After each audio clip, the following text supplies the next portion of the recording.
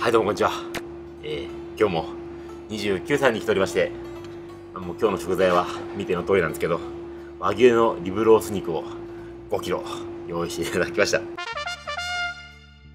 であの、まあ、今回のちょっと焼き場面っていうのはないんですけどあの普段29歳の方でも YouTube にチャンネルがありましてあのハンバーグとかステーキとか焼いてる美味しそうな飯してる動画がいっぱいございますのでそちらの方あのよければ概要欄の方からご確認ください。で、一応今日は、えー、リブロースが 5kg と、えー、ソースが3種ですね。えー、いつもいただいている29さんのオリジナルソースと、えー、ニンニク醤油ソースと、えー、ベリーソースの3種となっております。えー、えっと、ちょっと杉さん曰く、今までの中でダントツできついんじゃないかとかなんですけど。きついと思います。ただ、贅沢ができるので 楽しみでございます。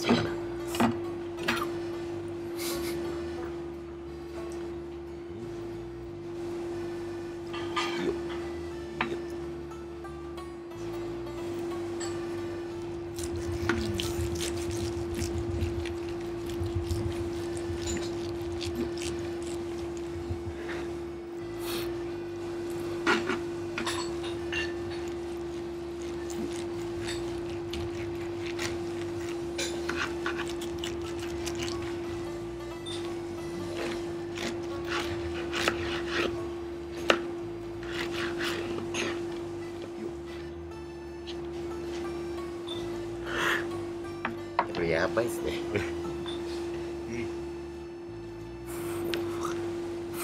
うわ